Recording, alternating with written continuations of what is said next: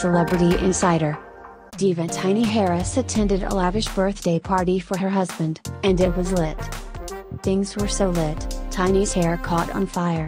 While TIP laughed and mocked his wife who was having a Michael Jackson moment, Tiny stayed rather calm as her family and friends helped her out. T.I. poked fun at Tiny by saying her hair was burned because she had the devil in her.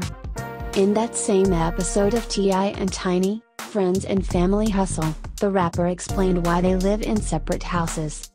He said, The Harris household is rather complicated. Yes, we're married. Yes, we're on good terms. No, we do not sleep in the same house, necessarily. I think our personalities are too big to fit under one roof. It might not work for everybody else, but it works for us. That's why we deserve each other. One fan replied, The fact that you were able to laugh at your MJ moment. Not be afraid to let them air it on TV, makes me adore you more.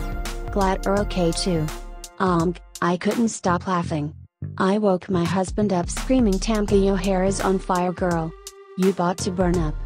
Y'all are hilarious. Ah her supporter stated, Honey the was definitely the right word. I know right. I love her for all of it, such a trooper. Dust off and keep going, she's straight from Atlanta.